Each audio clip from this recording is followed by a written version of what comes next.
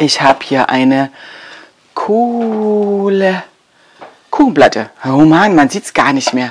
Eine Kuchenplatte modelliert. Die wollte ich euch zeigen. Es ist jetzt nur schon Kuchen drauf. Ach, aber ist die nicht hübsch für Kuchen? Sehr geeignet. Könnt ihr selber machen. Schaut euch das Video an. Ja, was macht man als erstes? Natürlich eine Platte. Erstmal eine schöne glatte Fläche. Wer das braucht, noch mit äh, die Höhe, um zu bestimmen. Ich mache das immer nach reinem Gefühl, das ist auch nicht so schlimm, wenn das an, an einer Stelle ein bisschen dicker ist oder an der anderen, da ich da eine Textur reinmachen möchte. Texturen kann man ja mit Silikon machen, mit Rollen, wie ich das auch schon öfter gezeigt habe, aber ich mache da so, seht ihr hier diese schöne Platte, das ist eine Texturplatte aus einfachem Gras, was man findet in der Natur.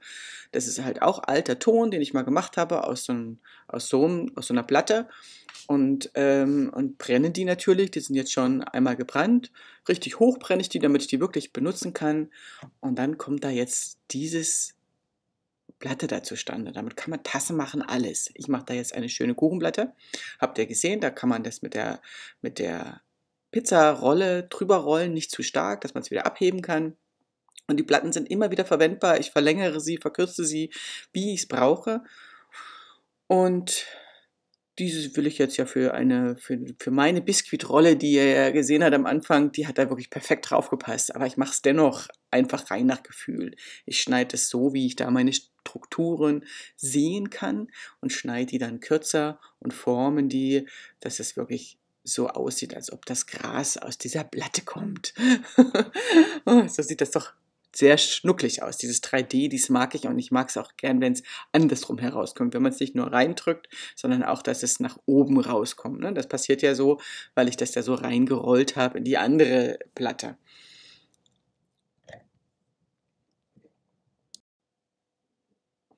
Und dass ich dann natürlich auch eine Platte habe, dass an rechts und links nichts herunterfällt, brauche ich einen kleinen Rand. Da suche ich mir wieder Unterstützung, indem ich da was hinstelle, was ihr findet. Das sind Papprollen, die ich da habe, halt lange Papprollen, die habe ich halt aus meiner Werkstatt. Und rechts und links seht ihr, da habe ich dann einfach nur ein paar Kekse, Keksschachteln hingelegt. Also das geht alles. Man kann da alles nehmen, erstmal, dass man einen Rand hat, dass das nicht gleich wieder umkippt. Ne? Dann müsst ihr es ja eh eine Weile trocknen und dann könnt ihr damit weitermachen.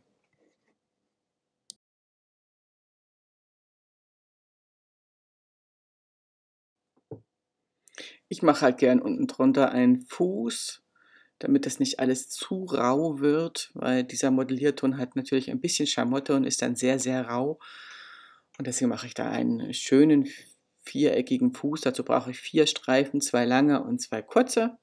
Das seht ihr hier. Und die schlickern wir später dann von unten an.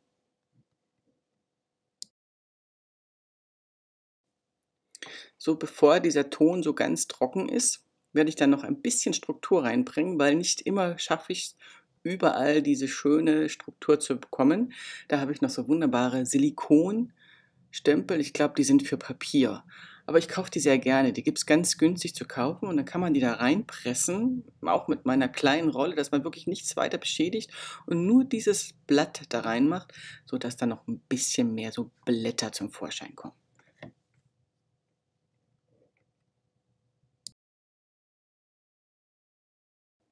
So, jetzt ist meine Platte ein bisschen trockener. Jetzt kann man sie wirklich schon so bequem umdrehen. Ich habe sie natürlich schnell getrocknet, damit es ein bisschen schneller geht. Und da passiert jetzt auch, dass mal ein Riss ist. Das kann man alles schlickern, indem man diesen flüssigen Schlicker da reinmacht. Und jetzt seht ihr, ich mache den Fuß da unten dran, mache da ein bisschen Struktur drunter, dass das besser hält, klar. Und dann ist der Fuß gleich fertig.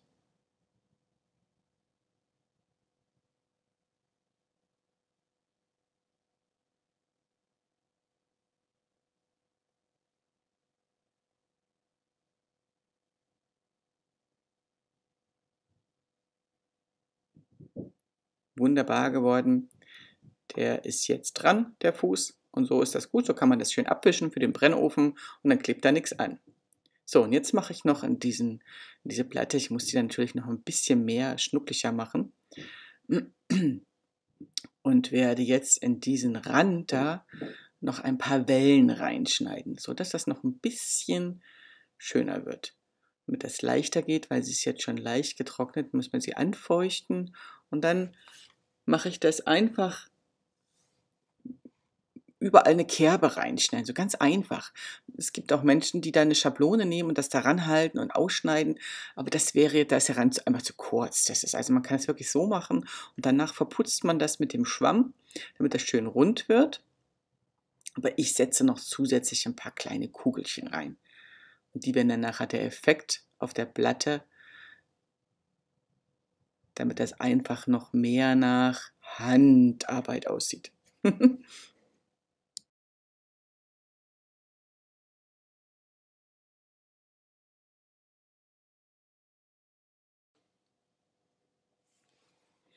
Jetzt forme ich diese kleinen Kügelchen da rein, seht ihr das? Die werden dann wirklich eigentlich nur nass gemacht und reingesetzt, die halten da. Selbst wenn eine abfällt, es weiß ja keiner, dass da eine Kugel war. also ich setze sie wirklich sehr unregelmäßig, setze sie auch in die Platte rein, nur damit diese Individualität dieser Platte noch ein bisschen hervorgehoben wird, weil das schafft keine Industrie, das schafft niemand, das wird alles immer nur aalglatt, das schafft man wirklich nur in der Handarbeit. Ne? Deswegen wird das dann so hübsch.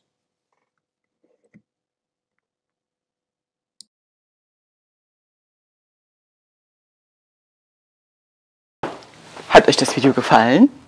Dann lasst doch bitte ein Abo da und ein Like. ich würde mich freuen. Tschüss, bis zum nächsten Mal.